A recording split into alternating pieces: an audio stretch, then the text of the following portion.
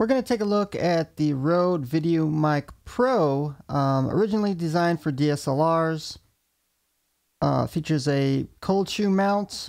Also, you can mount it on a boom pole with a uh, 3 8 inch thread and uh, uses a 9 volt battery to uh, power the mic.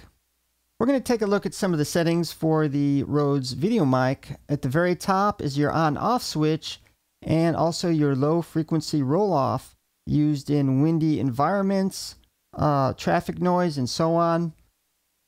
And the lower switch is for your input gain settings into your DSLR camera.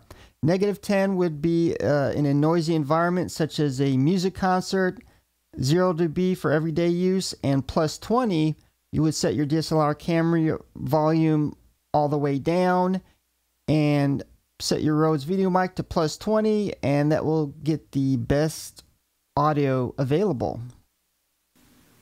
Okay, this is the test of the Canon T3i with the VideoMic, uh, Rode Video Mic Pro um, disconnected with the uh, using the DSLR built-in mic with automatic gain control engaged and I'm going to go ahead and stop talking to um, hopefully see if there's any background noise.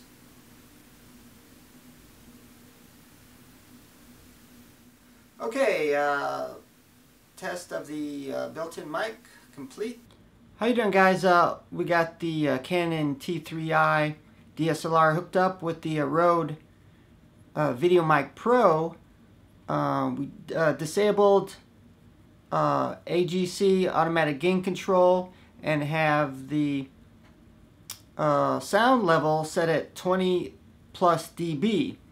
And uh, also we have the volume on the uh, DSLR set all the way down and up five clicks. And this is an audio test. One two three. Three two one. Test complete